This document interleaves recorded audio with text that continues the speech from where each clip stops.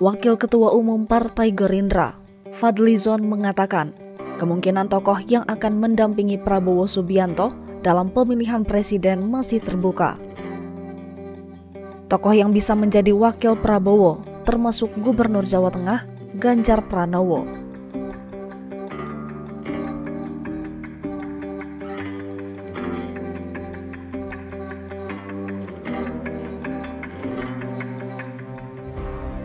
Survei Carta Politika menunjukkan Ganjar dan Prabowo berpotensi untuk bersanding sebagai capres dan cawapres.